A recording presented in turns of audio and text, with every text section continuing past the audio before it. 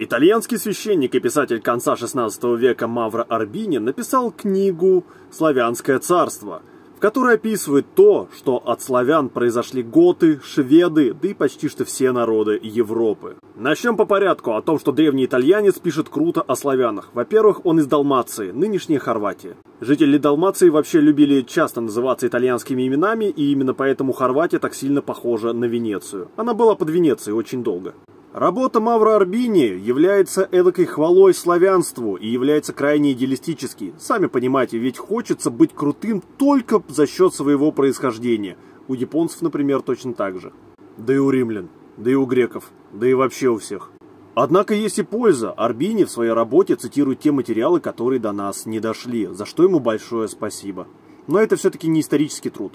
Кстати, ее книгу в России издал Петр I. Зачем, если он хотел истребить русских? 哼